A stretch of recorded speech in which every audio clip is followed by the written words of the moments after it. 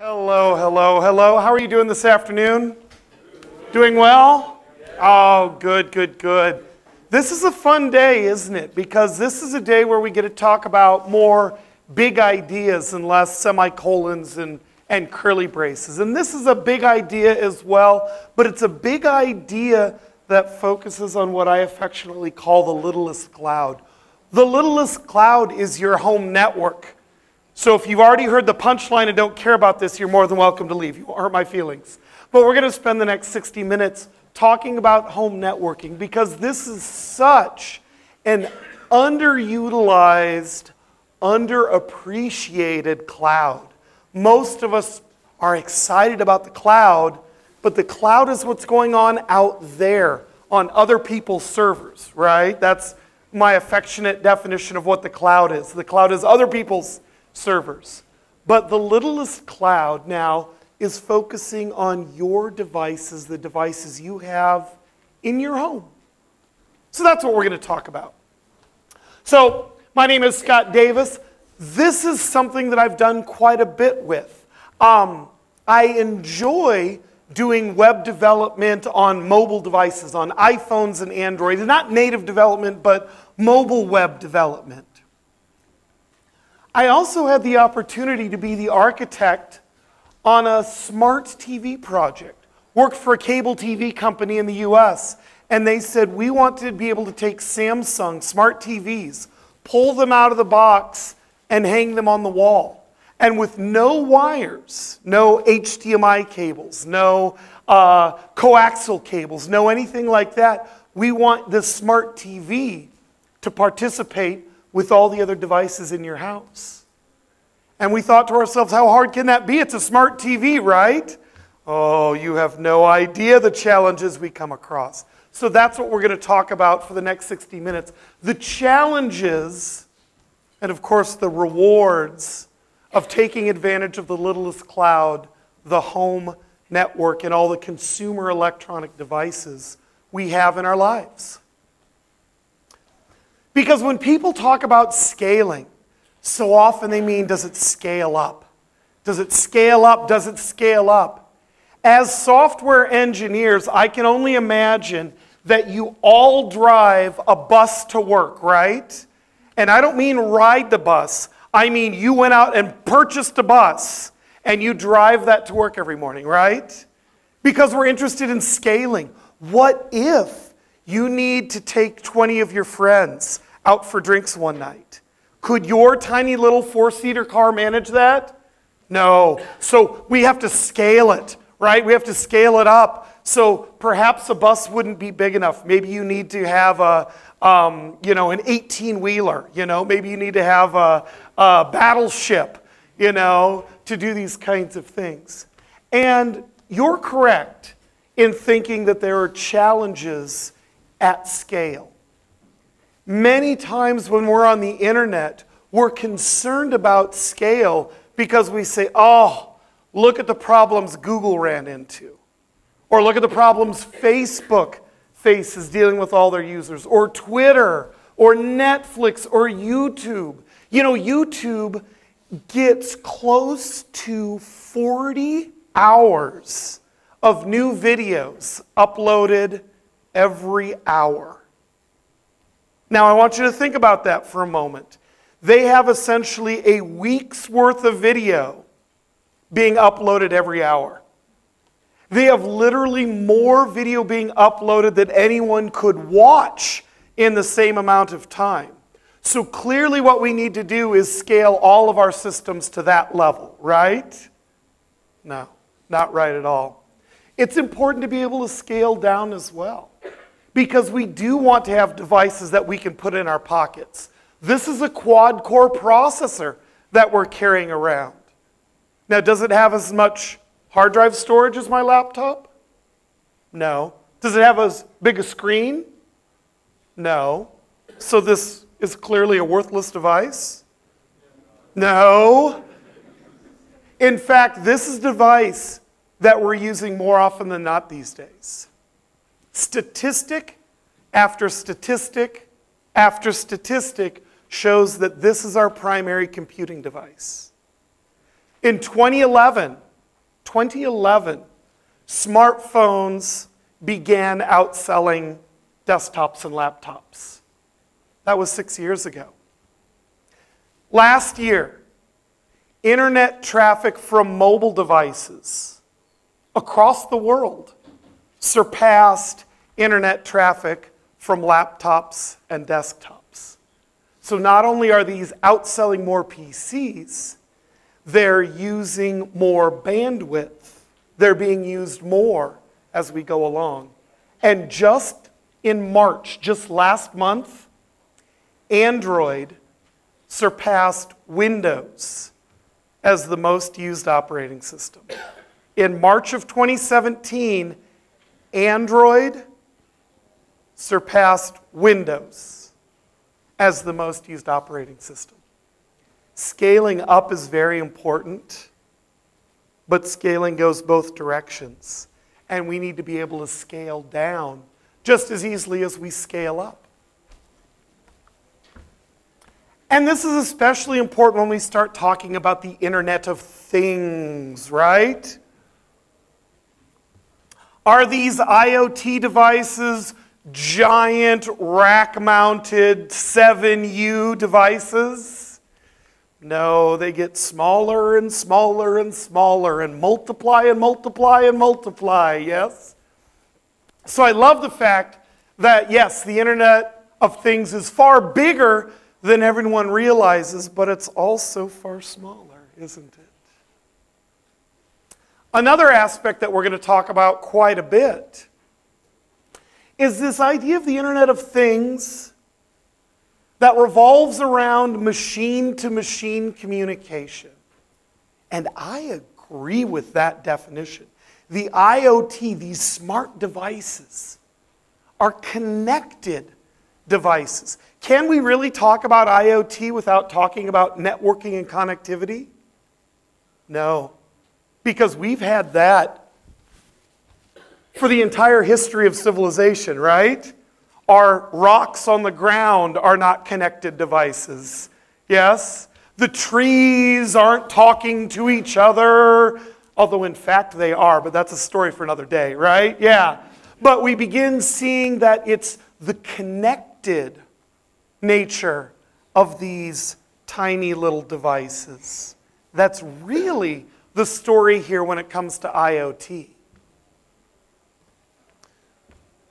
So, when we think about having this world wide web, this internet of connected things, we get really excited.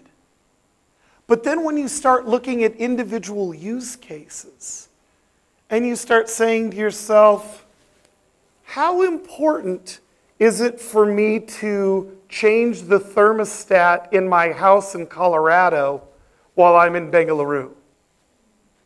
Now, I didn't say how exciting would it be, because I can do that right now. I can reach, it, reach into my pocket. I have a smart thermostat on my wall, so I could reach into my phone and I could adjust the thermostat from here.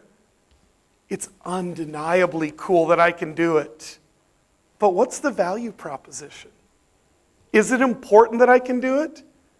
Venkat discussed that in his last uh, presentation, didn't he? He discovered that one of the great hidden treasures of Google Docs is to be able to mess with his wife from across the world. When she's in Google Docs editing that document, he can get at the same time and mess with her while she's, while she's doing it. That's a wonderful benefit. But was it the intended benefit? Yeah, probably not. Yeah. So, really, these connected devices, these smart devices, these laptops and smart TVs and tablets and iPhones and sensors in your house. Yes, that it's wonderful that they can all be connected. And yes, it's wonderful that they can all be connected globally.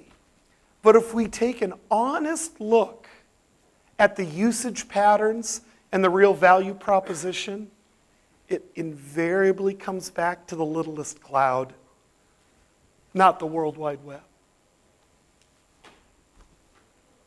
So, Sun, and I apologize about this. For some reason, my computer has lost its mind. Um, I'll scoot this over a little bit so we can see it all. There we go. Um, when Sun famously said this in the last century, the network is the computer. We used to think of it as, well, we have computers, and oh, yeah, we can network them as well. But then we got to a point where we said, what's the value of having a non networked computer? You know, if I can't send email, if I can't surf the web, if I can't log on to GitHub, if I can't get to Facebook, if I can't do any of these kinds of things. So we started realizing that the network is the computer, or stated another way, it's the important part of the equation.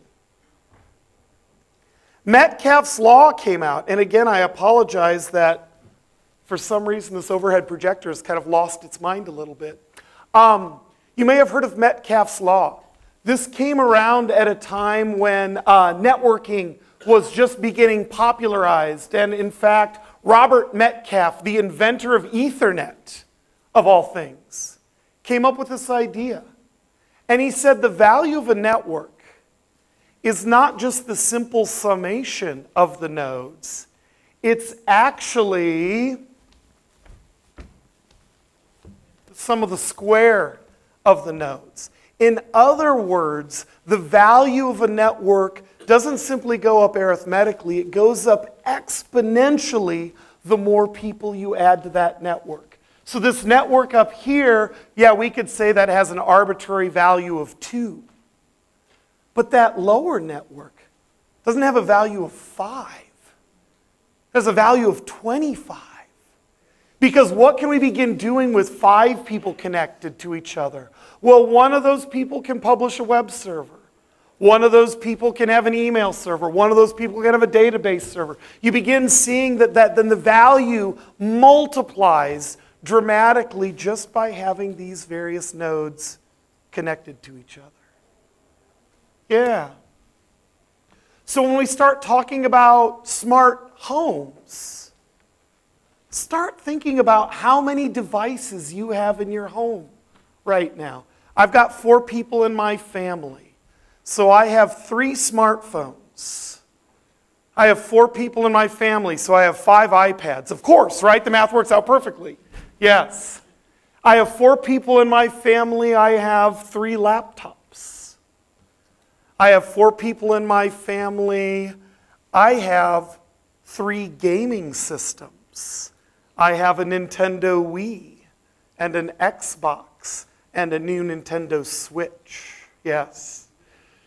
I have three televisions that are all smart TVs. I have Roku boxes. I have Apple TVs. I have Chromecast sticks. I have all manner of things. So, What's the value of my home network based on all that? Sadly, it's far less than n squared of all those devices because they aren't fully networked.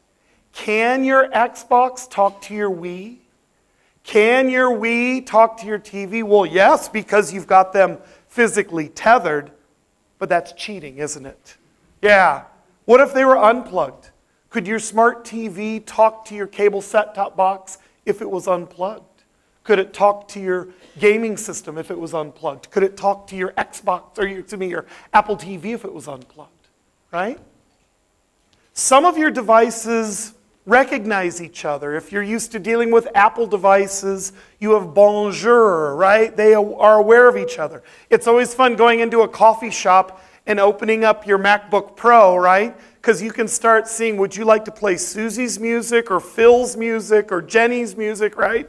Because these devices naturally want to network with each other. But Apple devices and Windows devices don't do that, and Windows devices and Linux devices don't do that. So the value we're talking about here in your smart home is not just that you have smart clocks and speakers and lights and doorbells and cameras and windows and on and on. And it's not that you can connect your doorbell to the internet and your window to the internet and all these devices to the cloud, the big cloud, right? The value is when you get all of these devices talking to each other. That's when the n squared equation kicks in. So the littlest cloud, in fact, is the highest value network that we're not taking advantage of at this point. So, I mentioned earlier I have a smart thermostat in my house. You've probably heard of the Nest, that's Google's. Um, I ended up going with a different one, the Ecobee. What I loved about it is not only did it have the big black box that sat on your wall, and of course it's touchscreen and all that other wonderful stuff. It's got an iPhone app so I could mess with my family just like Venkat messes with his family. Yeah? But what I loved about it was it came with a sensor, a little white sensor. And it had no UI, it has no screen, it's not tappable or touchable or readable. But it allowed me to put the thermostat on the first floor of my house and the wireless sensor in our master bedroom. That was the value proposition for me. Not being able to change the temperature from Bengaluru, but it's I now have a much more comfortable house. Our master bedroom was always too hot or too cold. My wife was always running a fan constantly up there or having to interrupt whatever she was doing to go up and open windows or close windows or open the blinds or close the blinds or turn on the fan or turn off the fan, constantly managing that. And by adding one tiny little sensor up there, now all of a sudden our bedroom is incredibly comfortable all the time. And it's extensible as well. I could buy additional sensors and put one in the basement and one over here. But at that point, I've exceeded the intelligence of my HVAC system, right? It will only push out the same amount of air to all rooms. I don't have thermostats in each individual room. But we could conceivably get to that point, couldn't we? Where all of a sudden our house is smart enough to not just have different sensors, but actually be able to pump different amounts of air conditioned air or heat to the various rooms. This is a good first step. When I listen to music in my house, I use the Sonos. Sonos is a series of speakers that you can put up, but they're not cassette players. They're not CD players. They don't load up the MP3s on them. What they allow you to do is strategically drop speakers throughout my house. I have a speaker in the kitchen. I have a speaker up in the master bathroom so we can listen to music loudly while we shower. I have one speaker that travels around, so when I'm out in the garage doing work, I have a speaker with me, or when I'm down in the basement doing work, I have a speaker with me. But can you see how these speakers can not only pull in music from Spotify or Pandora or Amazon Music. They also can play my local supply of music. So I have speakers that can all play a common set of ripped CDs. And of course, I have an Amazon Echo in my house. I've got a real crush on a girl in my life right now. Well, one of them is Libby, my daughter and one of them is Kim, my wife. But there's a third woman in my life, and it is Alexa. Yeah. But my wife's well aware of it. She actually bought me Alexa. If you can get your wife to buy you a girlfriend, I highly recommend it. Yes. But Alexa has absolutely changed the way we deal with computing in our house. Because now we do it through a conversational UI. I love being able to walk into my kitchen in the morning and say, Hey, Alexa, play me some Bob Marley. And she does. I love being able to cook with my daughter. We make pancakes and waffles and things in the morning. So as we have our hands deep in the batter, it's so nice to be able to say, Hey, Alexa, set a timer for nine minutes. These are the kinds of things that are nice. But in each case, I'm talking directly to Alexa. And while there's real value in that, this, I think, is going to be the hidden value. Alexa is being positioned as not just an endpoint, but a hub. So being able to say, hey, Alexa, dim the lights. Hey, Alexa, turn up the air conditioning. Hey, Alexa, play me some Bob Marley. You begin seeing how Alexa is now a hub to control various different things. That's where I think the real value proposition is. We're getting to the place now where we're just getting used to having her in her house, but eventually we will expect her to do more, and that's help control our house as well. So when you look at the services that you can access from Amazon Alexa, from the Echo device, you can get weather, but that of course comes from the cloud. You can play NPR, but that comes from the cloud. ESPN from the cloud. Pandora, Spotify, Apple Music, Google Play, Wikipedia, Google Calendar.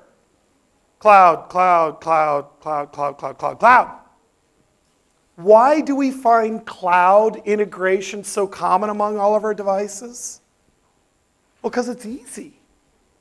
It's easy to do. We're already doing these kinds of things. And I'm not taking anything away from the Amazon engineers that did this. The women and the men who put together this did a wonderful amount of work integrating with all of these other well established cloud based services. But when you read the fine print, Alexa does not appear to be capable of playing music streamed from a local UPnP or DLNA server. Oops. Now, we're going to talk about what UPnP and DLNA is. So that's not the important part of the story, right? The local part of that is the important part. We have a home automation hub that is blissfully unaware of the same set of music I am using to drive my Sonos device, those local music stores. And if we go back and read the fine print a little bit more, they said, oh, certainly we can control your thermostat. There's Nest right there. But how is Alexa going to do that? I'm going to talk to Alexa. The command is going to go out to the internet. It's going to go over to the Nest API and come back down into my house. If I'm standing this far away from my Nest thermostat, Alexa's taking the longest possible route to get there, isn't she? She's circumnavigating the globe in order to get to this thermostat that I can reach out and touch.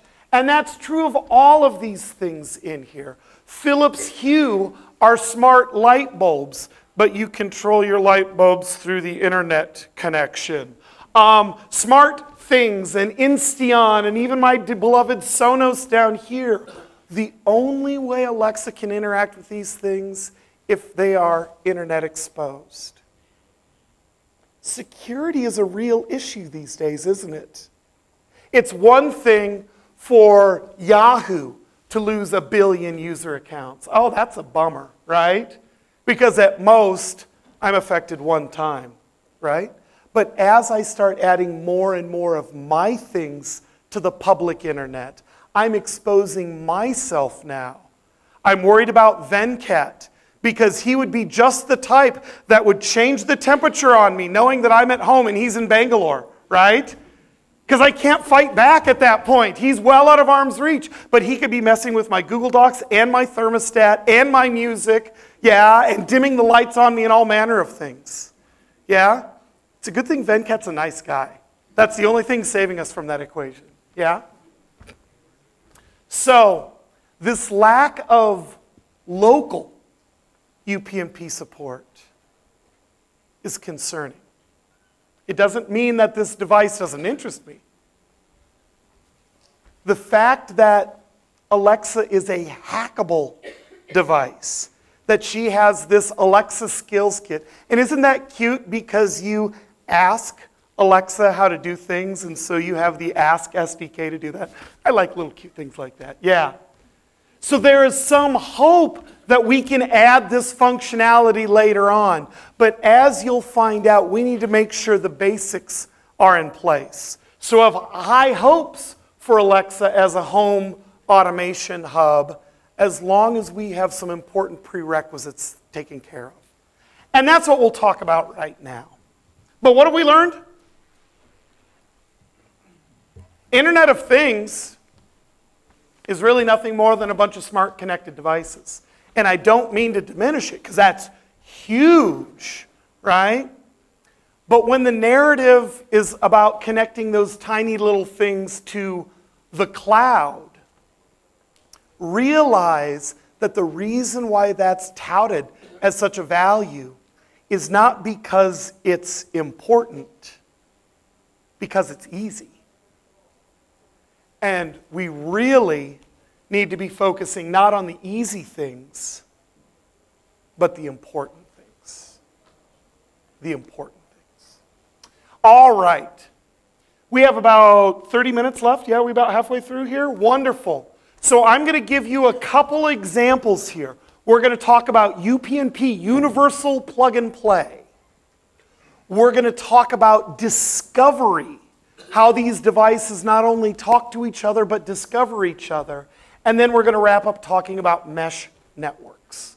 So we have three good concepts to talk about when it comes to the littlest cloud.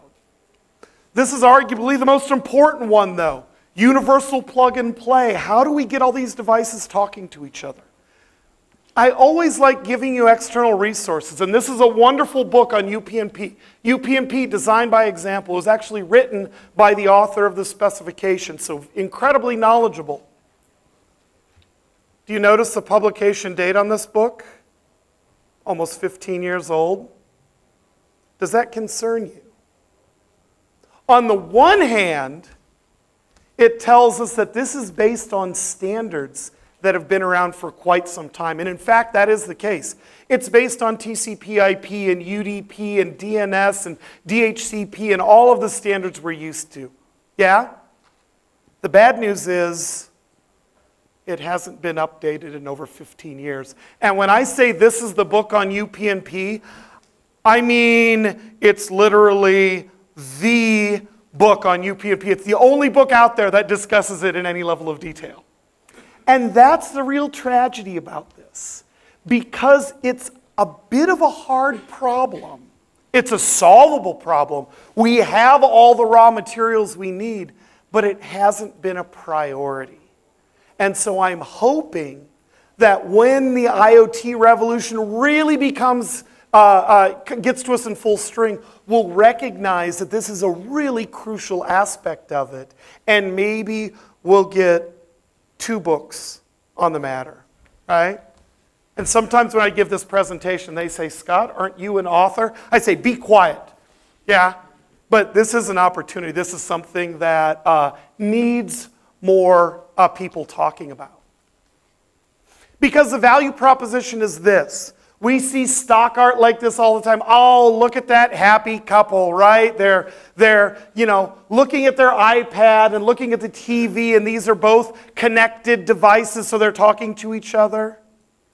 And then you start thinking to yourself, how often does that happen? Can you walk into your house right now and pull out your iPhone and mirror the content you see on your TV? Why not?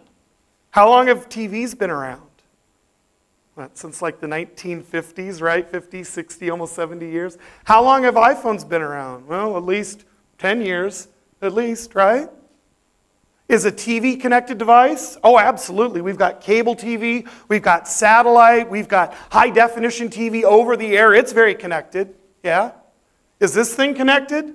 Oh, you bet. It's connected to cellular networks and it's connected to Wi Fi networks, Bluetooth networks. It's connected to all manner of things. Well, if this thing is connected and my smart TV is connected, how come they aren't connected to each other? And the reality of the situation is it's just never been a priority. The reality of the situation is Samsung is highly motivated to make sure it integrates deeply with other Samsung pieces of hardware. But they've got almost no financial incentive to deeply integrate with LG TVs and Sony TVs, right? Apple has motivation to make sure that their smartphone is deeply integrated with the Apple ecosystem. It talks to other Apple devices and iPads and things like that. What motivation do they have to make your iPhone talk to your Android tablet? Right? This is the fundamental problem. And what's interesting is we don't have this problem as web developers. I never say, oh, you know what? I'm on a Mac, so all I really care about is Safari. We used to. We used to say this website best viewed in Internet Explorer, this website best viewed in Netscape Navigator. But we found very early on that that myopic, narrow, tunnel vision, while at first blush might seem like that's the right strategy, Microsoft was taking a zero sum game approach, saying if we own all of the internet, well, then we don't need to worry about compatibility, just Internet Explorer is what needs to happen. And that's not that far off. At the time, in the late 1990s, Microsoft had a 90% market share in terms of the operating system, which means it had a 90% market share in terms of the browser as well. They weren't motivated to do interconnectivity kinds of things because they felt it was a zero sum game. We have the whole pie, so why do we worry about integrating? It's very rare that we have a monopoly situation like that. Who sells the most TVs worldwide? Samsung. What's their market share? 30, maybe 40%, right? So we have a big player in the market. But if they only have a third of the market, they should be more compelled to interoperate with these various things. Because will a Samsung TV play information off of a Blu ray player? Yeah, of course it will, right? Does it have to be a Samsung Blu ray player? Of course not. Why do they work together? Because of standards. We have standard ways to connect these things.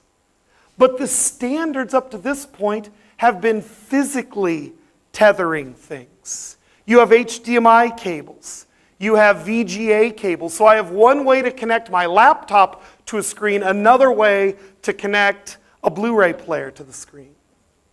But when we start looking at standards based solutions, and wireless standards based solutions. There has been no other networking protocol or strategy that's been more resilient, that's been more heterogeneous than web technologies.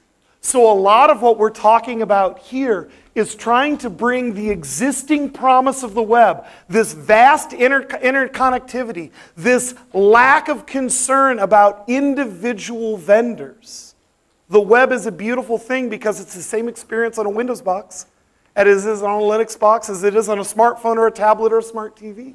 We want to bring that same level of democracy to home consumer electronic devices. So, we've got internet connectivity. One out of every two TVs is connected to the internet in the US. The only problem is it's not always the TV. The most popular way to get your TV connected to the internet is a video game console. Since most games have downloadable content, one of the first things you do is connect your game console up to the internet. You connect your TV to the game console. Ah, look, now I have Netflix.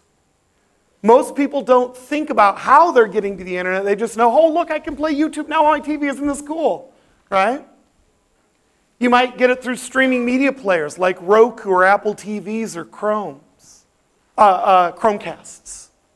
You might get it through Blu ray players. Almost every Blu ray player now has network connectivity because Blu rays have the ability to connect you to online content. DVDs used to be all self contained, but Blu rays almost always, when you go looking into those extras, will take you off to some companion website or give you the ability to download additional content. So we have lots of connectivity floating around, but it's not always the TV itself. And that makes it difficult as well. Because all of a sudden you've got this weird combination problem. How do I support a Wii and a Samsung TV and an Xbox and a Sony TV and a PS4 and an LG TV, right? I mean, it gets to be a more complex problem.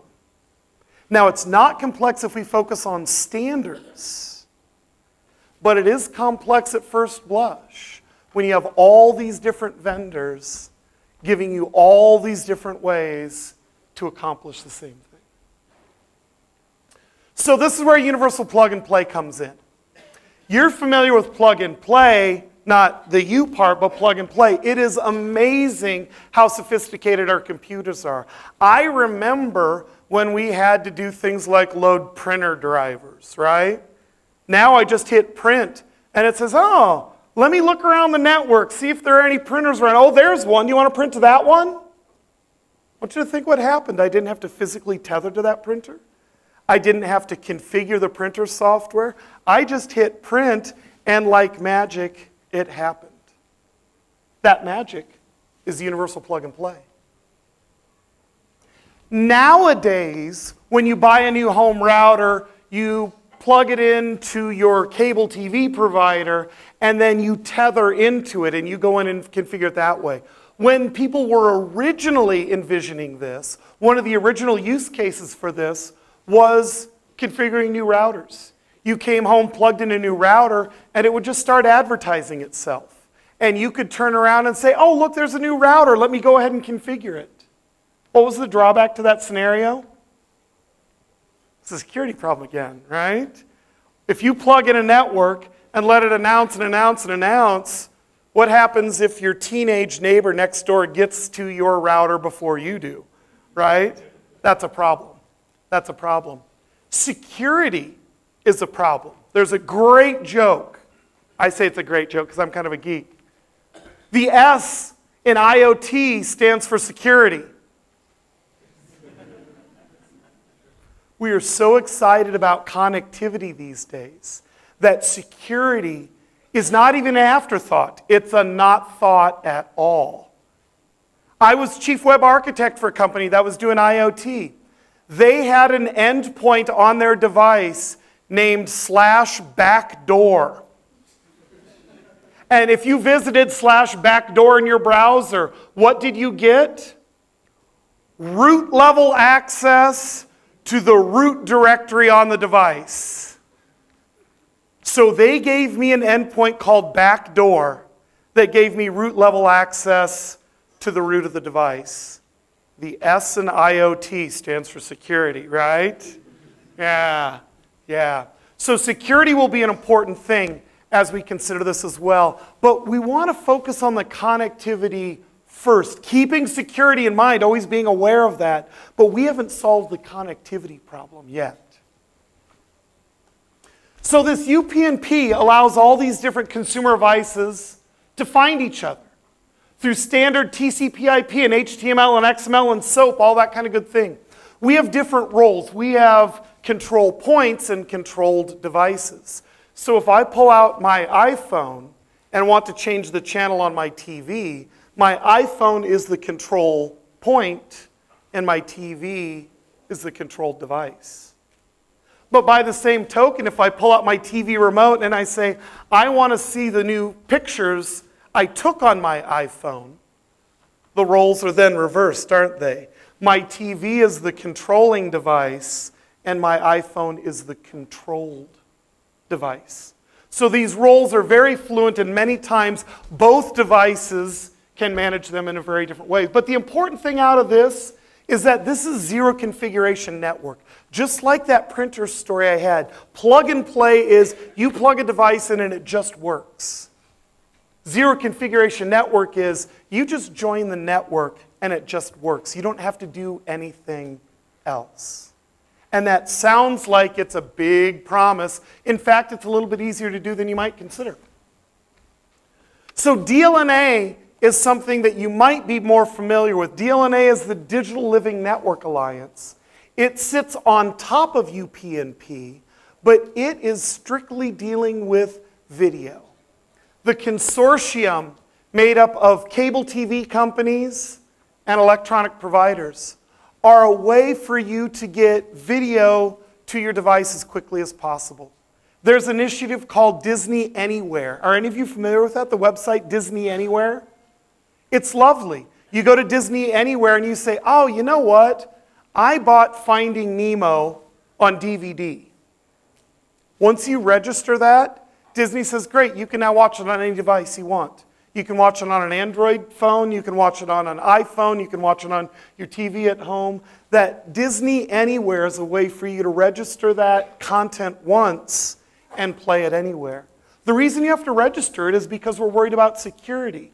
And so DLNA is really focused on DRM. But once they're comfortable that they can securely share that information, then we can just focus on the sharing information part. See how security and connectivity work hand in hand? Yeah.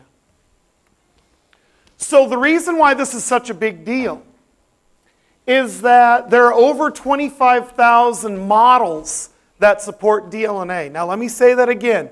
There are over 25,000 smart televisions and Blu ray players and Roku boxes and things like that that are all DLNA enabled. And while that's an impressive number, it translates to over 6 billion DLNA enabled devices out in the wild. This is a huge opportunity for us to take advantage of. Samsung did it by taking DLNA, that underlying standard, but they rebranded it as AllShare.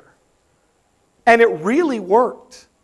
The irony is, though, that the AllShare worked with Galaxy phones and Samsung TVs and Blu ray players, right?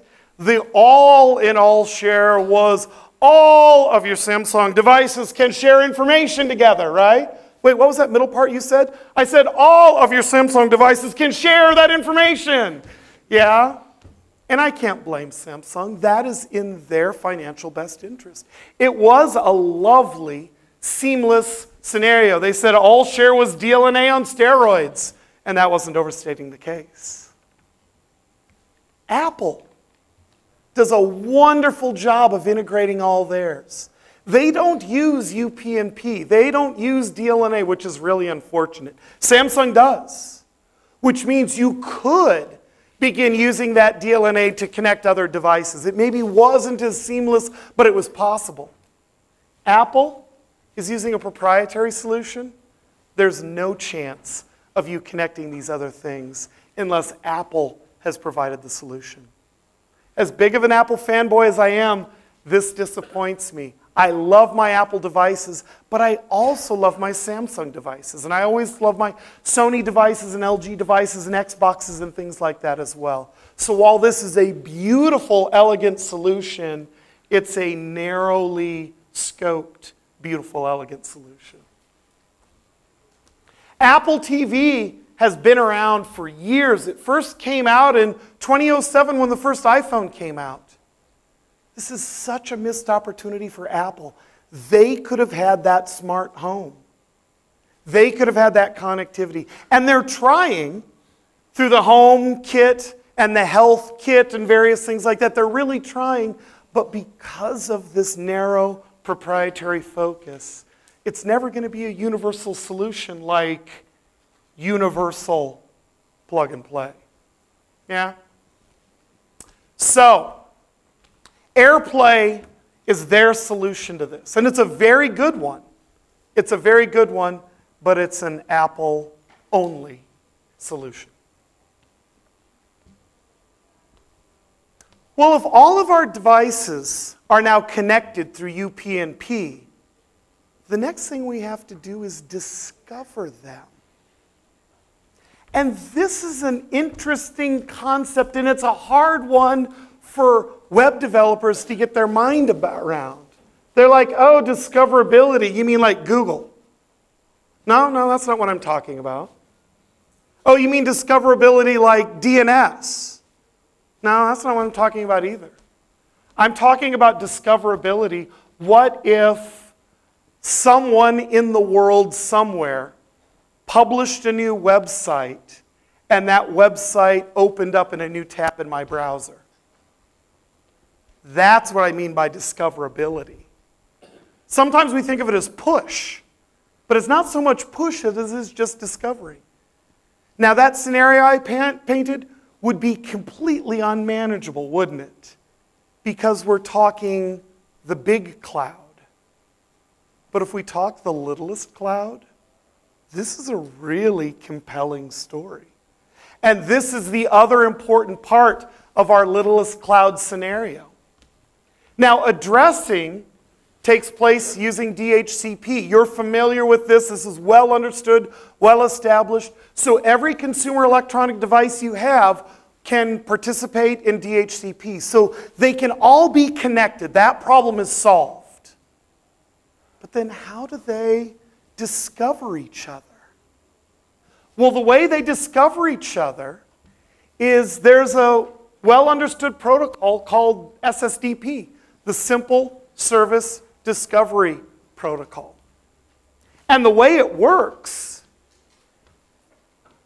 is that it is completely serverless and not on the serverless that I was talking about earlier. It's serverless in the fact that it just deals with announcements. It just says, hey, I'm a Samsung TV. Hey, I'm a Samsung TV. Hey, I'm a Samsung TV. Right? That would be terrible to manage at a global level. But in a home networking scenario, it's perfect because then UPnP gives everyone the connectivity they need, and then SSDP gives them the discoverability they need to interact with each other. Now, the way this works is it's based on UDP. Now, this is where we go back to your computer science 101, isn't it? Do you remember the seven layer network model? Of course you do, right? You say it to yourself every night before you go to bed, yes? Yeah, I don't remember all of it, but this is a nice review. The lowest level, the link level, is Ethernet or Wi Fi or your cellular network or Bluetooth, right? It's, it's that lowest level, it's how they connect. The internet level, IP. We talk about IP addresses all the time, don't we? So the IP address is how you get there.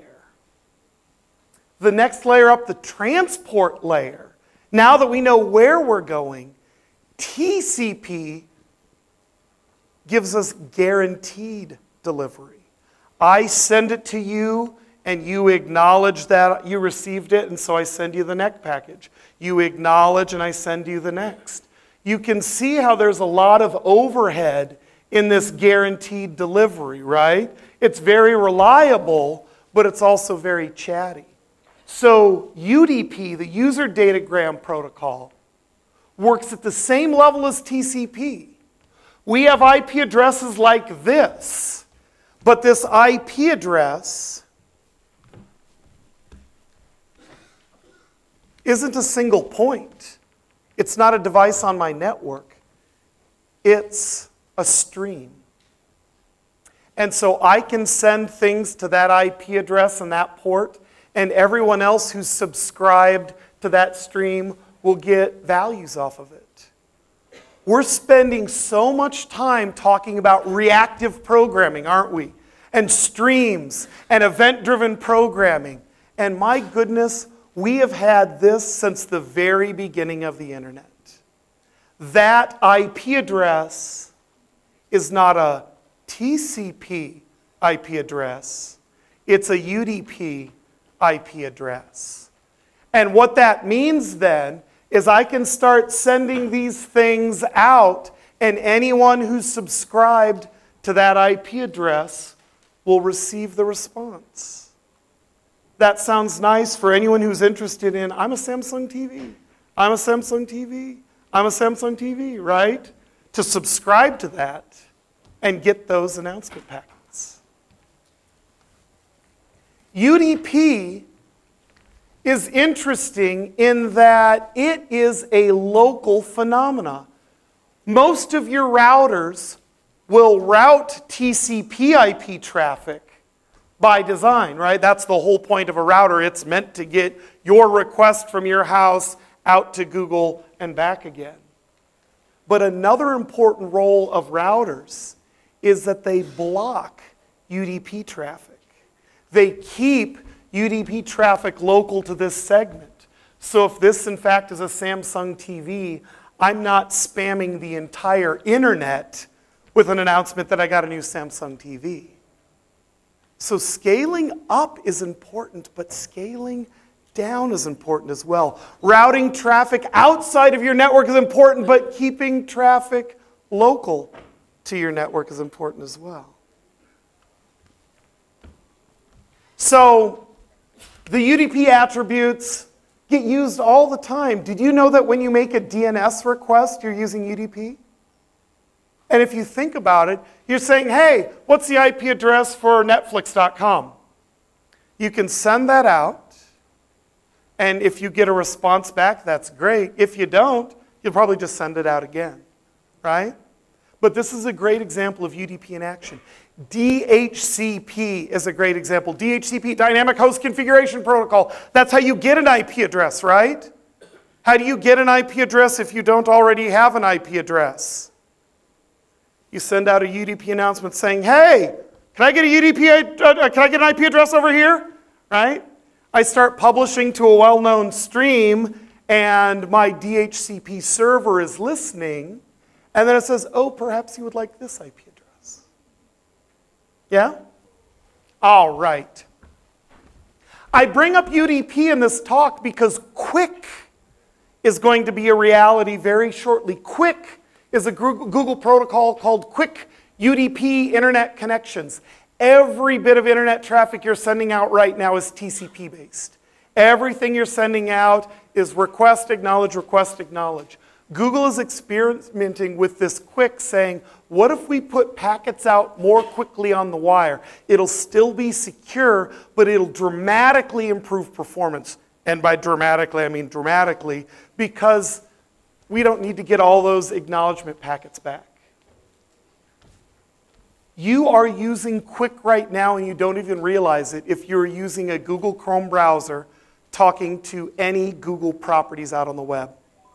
If you do Google searches or YouTube or anything like that, if you install this HTTP2 indicator, that'll give you a little lightning bolt up there. That lightning bolt will not only tell you about HTTP, it'll tell you about QUIC. And if you visit Google and turn on this QUIC indicator, you'll see that all of that traffic is coming down via UDP. What's interesting is we got HTTP2 because Google was working on a protocol called SPDY. And once they had proven it in the wild, SPDY was talking to Chrome, Gmail, and YouTube, and all these other things. Once they found that SPDY worked, they submitted it to the IETF and it got standardized and became HTTP2. That's what I'm going to talk about tomorrow. QUIC is on that same path. So once Google has proven it out in the wild and once it gets accepted by IETF, um, it might end up being yet another way we do transport. It should dramatically improve performance, dramatically reduce network and transport latency, but be secure out of the box. That's the Holy Grail. So we're talking about discovery. We've done DHCP, so we have an IP address. Now we're going to send out a packet saying, hey, I'm here. This is kind of what that ends up looking like. We have a whole bunch of devices sending that announcement to that well-known UDP spike, that, that, that, that UDP stream. And then our control points over here also know about that. So if I pull out my iPhone, it's going to subscribe to that channel, and all my devices are saying, hey, I'm still here, I'm still here, I'm still here. That's how that list is always up to date. It'll never be stale. Modulo a couple seconds, right? Because this is how it works. This is the advertising that we're talking about here. So this is what that packet actually looks like. It's an SSDP alive packet. I'm alive. It lives. I'm not dead yet. The jokes just keep coming, right? Um, but this is the alive packet. And what you do is you're sending it out to that UDP stream, but you are giving yourself a URL. So you're announcing that, hey, I'm alive, but you're giving people a way to get back to you directly. And that is how SSDP works. Now, what I love is you've got an alive packet, but you don't have a dead packet, right? That would be a little bit morbid. So instead, you say bye bye. Whenever you turn off your device, whenever you go into airplane mode, whenever you walk out the door, your device starts sending out bye byes, right? And you start saying to yourself, well, wait a second. What if you just rip the Ethernet cable out of the back of your system, right? It can't send the bye bye. You're right, but you know what else it can't send? Be alive. Yeah. So if you abend, if you get off a network unexpectedly, you'll just age out naturally. They'll just be like, hey, are you here? Hey, are you here? No, he's not here anymore. Let's ignore him. Yeah? But in a well formed way of getting off the network, you'll say, I'm no longer here. I'm leaving. Goodbye. Auf Wiedersehen. Farewell. Yeah? And this is the packet that goes out. So once you have an IP address, once you've announced, once you've been discovered, the next thing you do is you need to describe the services available to you. Because remember, these are TVs and smartphones and Blu ray players and game systems and Roku boxes, all manner of things by all manner of different manufacturers with all manner of different capabilities. And so, what we need to do now is this is HTTP traffic. This is actually a SOAP call, believe it or not. That's how old this protocol is. It used SOAP. Yeah. But this is a SOAP call. But in that announcement packet, you're announcing your endpoint, your IP address. So once I know about you, I can start talking to you directly. So if you think about this architecture, it's chatty in the sense that it needs to be chatty, but it also avoids being chatty. It wouldn't make sense if I said, Hey, TV, what capabilities do you have? and have everyone else on the segment hear that conversation. So I am UDP when it makes sense, and I am TCP when it makes sense. But if we want to see what this device description looks like, it has two pieces. One is the device description, where it lists out manufacturer and model and serial number and all manner of things like that. And then the other thing it'll do is list out all the services. Hey, I can play videos. What kind of videos? I can play MPEG 4 videos. Oh, that's nice. Hey, I can play music. What kind of music? I can play OGG tunes. Oh, great. What else can you do? So, this is the um, uh, service announcement capability. So, in the what two minutes we have left, let's discuss mesh. Let's discuss. Let's discuss mesh networks. I turned to Sean Connery all of a sudden here. Let's discuss mesh networks. There we go. Yes. So mesh networks are something that come up when we're talking about IoT and the home network quite a bit because we've spent all of this time talking about IP addresses and TCP and UDP and things like that. And sometimes there's no need for all of that. There's no need for the overhead, or there's no need for you to show up on a device, on a network where you would prefer to be invisible. So, mesh networking, sometimes people call it ad hoc networking because typically a mesh network is one device comes up and starts sending out announcements hey, I'm here, I'm here, I'm here. Another device comes up and says, I'm here. And once they discover each other, that's the mesh network. That's the ad hoc network. That is the, the ephemeral network that is just all the devices that are on and announcing themselves at the moment. So, this example I mentioned earlier, this device is absolutely on my home Wi Fi. That's how I can pull out my iPhone and go to the internet, which routes to my local router, which routes to this so I can turn up the temperature and mess with my wife in Denver. Yeah? But I don't have that same requirement here. I can't ping this. I can't SSH into it. I have no need for that. So, in fact, the way this thing is configured is that thing that's hanging on my wall has an IP address, but all those other sensors are a simple little proprietary mesh network. And I honestly don't have any idea what the implementation is because it's black box to me. I, I, I just don't know. But I do know that those little white boxes aren't getting IP addresses. And I do know they are talking to each other. I don't know how. Yeah? Sonos has two different ways you can connect it to your network. In the most simple way, you buy a speaker, you come home from Best Buy, you put it on your counter, and it connects to your home Wi Fi network, and away you go. The concern you might have with that, though, is what happens if your network gets busy? What happens if your son is playing an online game and your daughter is watching an online movie and there are other things going on here? So, Sonos, in fact, if you buy a bridge, which is another white box that you has an Ethernet connection on one point, but if you do this, and this is actually the recommended way to do it, all of those Sonos networks create their own mesh network. They call it SonosNet, but SonosNet is a secure, encrypted, peer to peer wireless mesh network. And what that means now is all of that music traffic isn't interfering and conflicting with all that other IP traffic. But wait, there's more. If this was an IP story and I had my IP router down here and some device off in my kitchen on the other end of the house and signal was weak, I'd have a bad experience. You might say, oh, that's easy, put another router or a repeater in your kitchen.